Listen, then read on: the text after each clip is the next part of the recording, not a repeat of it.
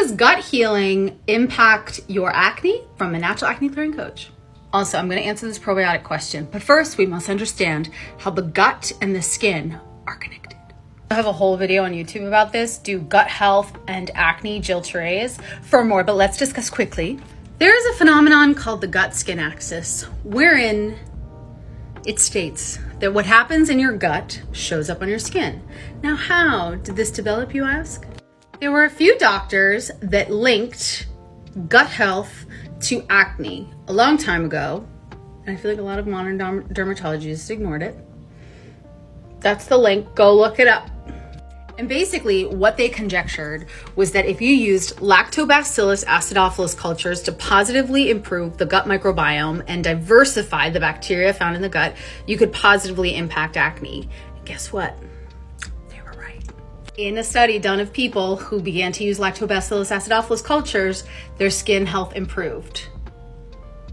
There's a lot more research that is about this topic, and I'm not going to go in deep today. But I wanted to share this when people ask me what type of probiotic, all the things. I like sharing the background because I want you to know why I recommend taking a probiotic. And the reason is broadly, broadly speaking, the bacterial makeup of our gut positively or negatively impacts our skin.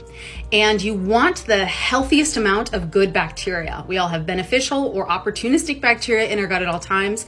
And the best types of beneficial bacteria for our acne are Lactobacillus acidophilus and Bifidobacterium. Now, when you take probiotics as well, our stomach acid can sometimes ruin the probiotic before it really does its work. So you want the largest amount of microorganisms that you can tolerate that feel good for you. So, for example, if you've never taken a probiotic before, taking 100 billion live active cultures for the first time in your life might make you if you've been taking probiotics for a long time, you could easily do that.